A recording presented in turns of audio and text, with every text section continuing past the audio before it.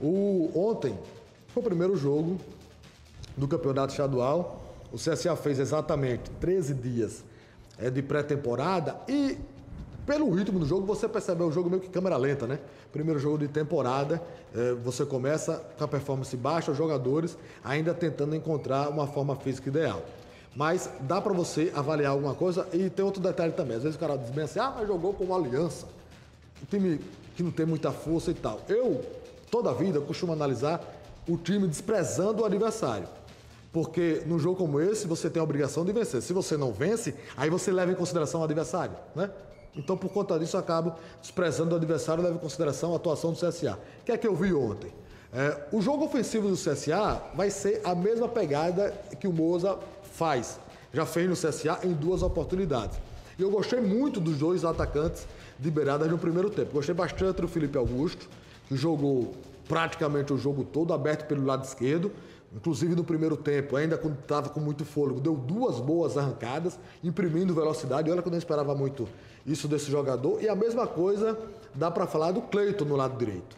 O Cleiton fez uma dobradinha com o Cedric muito interessante no primeiro tempo, quando conseguiu municiar os homens na linha de frente em três oportunidades, com toques rápidos e até imprimindo velocidade. E teve uma infelicidade no final do primeiro tempo, uma jogada meio que despretensiosa da defesa do Aliança, mas o jogador, o Cleiton, saltou na hora de colocar os pés no chão, torceu o joelho, fez o, inclusive o exame de imagem hoje pela manhã, está se aguardando o resultado para saber a gravidade da lesão. Nas mudanças que ocorreram no segundo tempo, entrou o Lucas Barcelos e entrou bem. O Ian Rolim entrou e entrou muito bem, inclusive marcando o gol, municiando os homens da frente, é, servindo de garçom na jogada. É, pelo menos em três oportunidades, o CSA conseguiu fazer conclusão de jogada de assistência que ele deu, entrou muito bem. O Bruno Paulista, um capítulo à parte para esse jogador, também gostei da, da atuação do jogador, mas aparentemente o cara ele tá, tá muito forte para não dizer que tá gordo, né?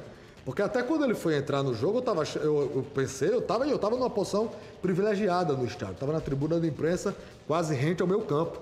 Eu estava achando que era o Rodrigo Rodrigues que ia entrar. Depois, quando o Rodrigo Rodrigues, que os dois entraram juntos, foi que eu vi que não era. Porque ele estava muito forte, grande, e mesmo assim ele conseguiu imprimir velocidade. Então, se ele entrar na sua condição física ideal, até pelo que a gente tem de imagem de, outras, de outros jogos, do jogador, ele tende a ajudar muito. Então, ofensivamente, gostei do que vi. Só acho que o Dalberto não é centroavante. Claramente ele tinha problema de posicionamento. Se ele cai mais aberto, até para fazer variação do lado esquerdo com o lado direito, foi quando ele conseguiu fluir no jogo.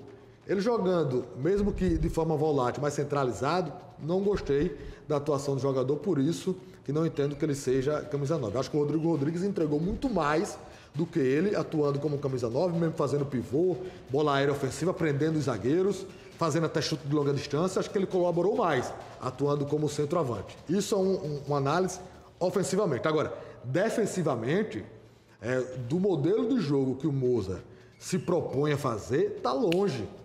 Está longe de o CSA começar construindo a jogada defensivamente, puxando o time adversário para tentar fazer o combate, para dar vacância, para o CSA conseguir acionar a jogada. Vocês terem uma ideia, o CSA só conseguiu fazer isso no jogo todo, de forma correta, três vezes.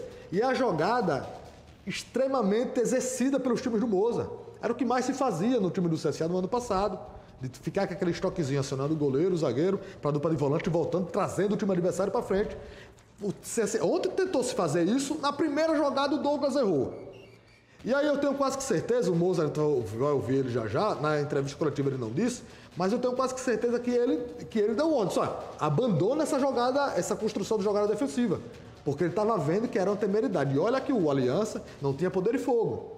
Né? Então o CSA conseguiu ainda fazer umas duas no primeiro tempo e conseguiu fazer uma perfeita na segunda etapa. Só. Isso me leva a crer. É lógico que isso aí você vai construir com treinamento, são 13 dias só. Mas eu não vejo característica nem do Douglas, nem do Marcel, do Douglas principalmente, mas do Marcel também, característica nesses dois jogadores de construírem jogada defensiva desse naipe. Não vejo.